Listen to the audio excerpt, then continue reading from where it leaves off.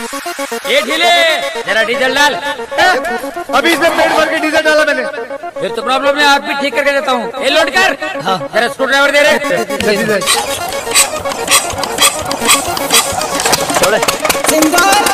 रहे